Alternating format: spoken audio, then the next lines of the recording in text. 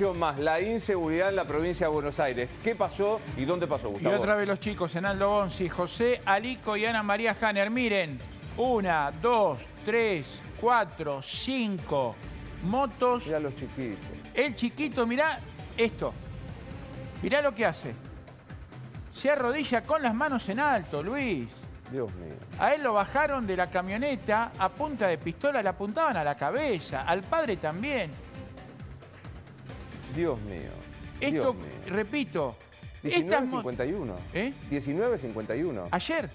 O sea, a mí me lo mandaron a las 9 de la noche, el video.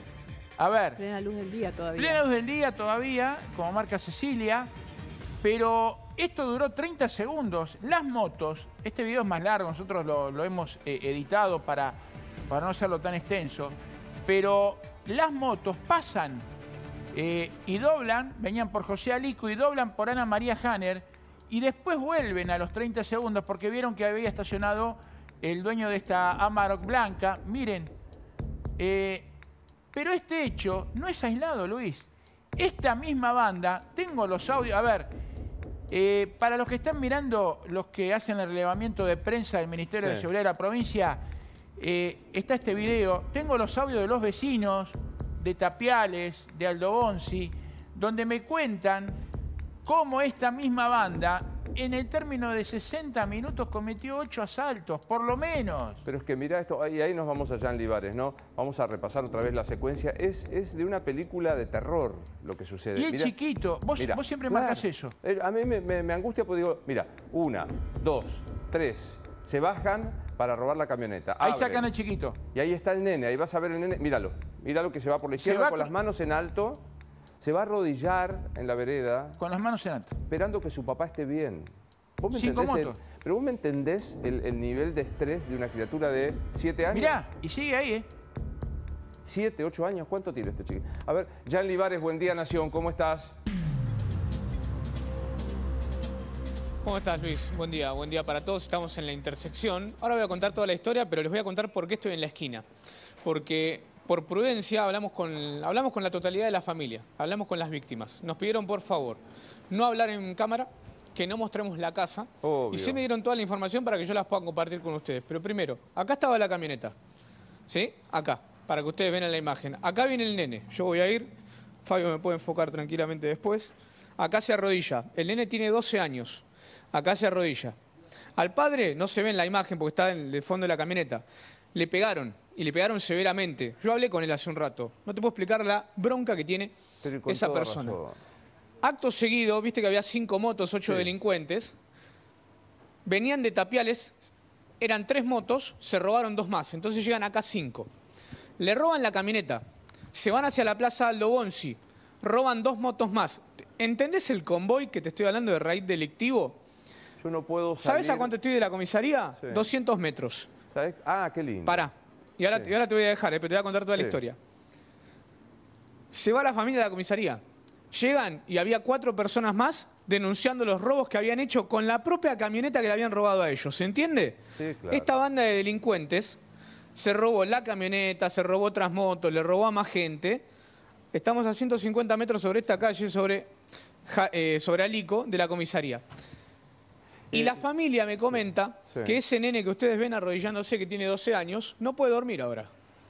Pero claro, Jan, o sea, yo no puedo, en todo este relato siniestro, y ahora vamos a graficar este raíz que vos mencionabas de cómo son los robos taxi, cómo van haciendo, en todo este raíz, en toda esta situación, yo no puedo salir de la angustia de pensar, un chiquito de 12 años que ve a su superhéroe preferido que es su papá, habitualmente el papá de uno es el, el imbatible, golpeado, robado, arrodillado en el- ahí en la vereda levantando las manos para que no le dispare, digamos, ¿quién le devuelve? De- yo, yo le mando un abrazo enorme a esta, a esta familia y cuenten con nosotros para lo que, lo que necesiten. Acá estamos en serio. Obvio no fue nadie a darles una mano, Jan, entre anoche a las 8 de la noche y hoy a las 10 y media de la mañana. No. Nadie. Y es más, lo que me decía esta familia, hablamos con todos los integrantes de la familia, me decían, cuando obviamente estaban montados en ira, muy enojados, muy calientes, como Claro. se dice en la calle, que el policía, el jefe de calle les dice, nos sacaron el único patrullero que teníamos. ¿Se entiende? Por ahí ellos no lo pueden decir por temor. Pero nosotros que somos periodistas y tenemos la información, y yo le pregunté, nuevamente le repregunto, ¿pero cómo? ¿La, la comisaría no tiene patrulleros? El jefe de calle me confirmó que no que acá hay una decisión política de dejar sin policías a la zona y que por lo menos cuando ellos estaban haciendo la denuncia del robo de su camioneta, había cuatro personas más denunciando robos, Luis. ¿Se entiende la desidia y lo liberada que está la Jan. zona de la matanza? Jan. No solo Bonzi, San Justo, todo, todo, no hay policías. Jan, eh, yo ahí le pasé la producción, eh, tenemos los audios de los vecinos, donde dan fe. Por eso les digo, eh, estos delitos son reales, esto no es ficción.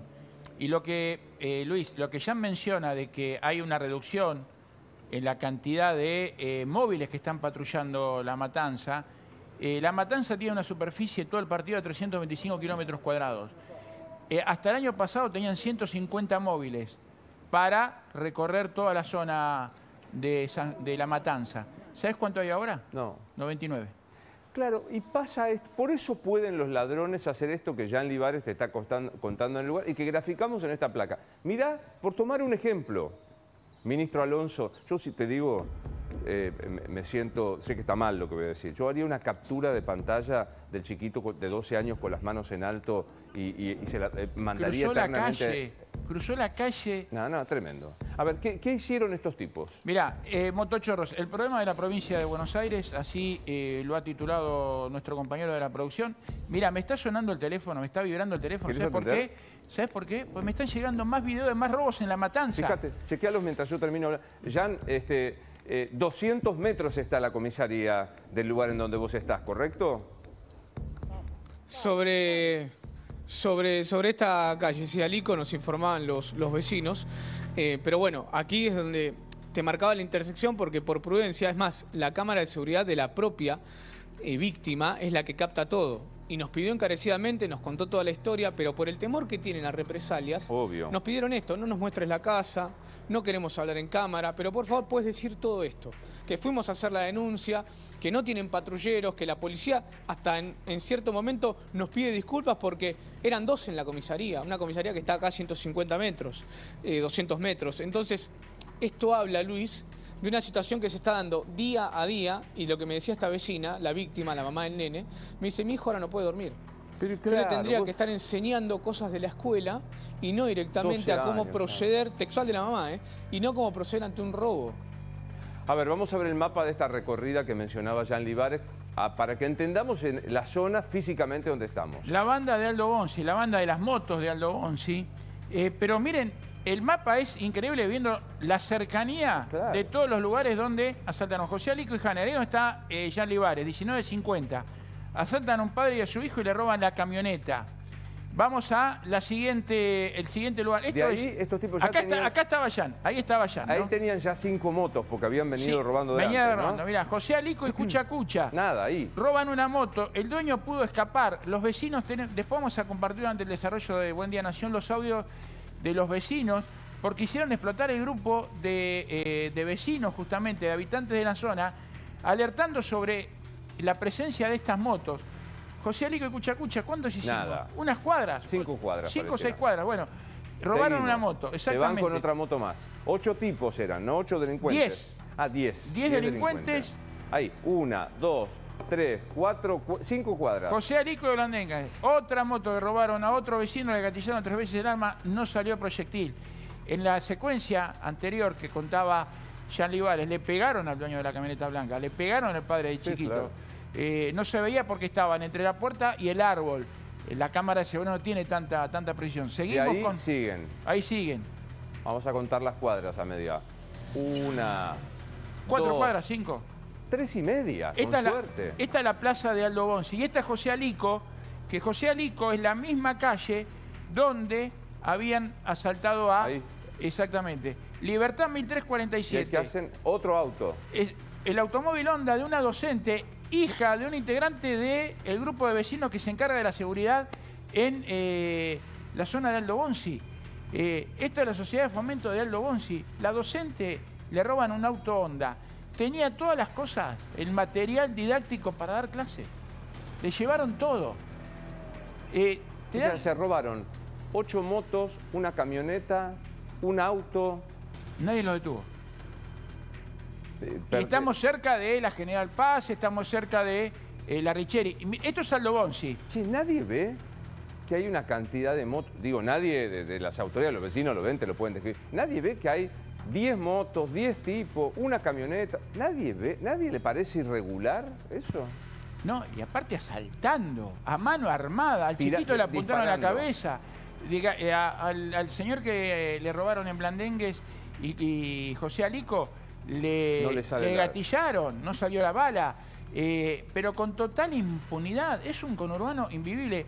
Y después, esto fue Aldo Bonzi, pero mira lo que pasó en Tapioles. ¿Siguen después de ahí todavía? Tapiales, A ver. sí, exactamente. De ahí se van. Tuyutí y Pirán. Sí, Tapiales, que es tampoco es que se van a 25 kilómetros. No, están, eh, cambian de localidad nada más, Tuyutí y Pirán. Le robaron un vecino y le robaron la moto.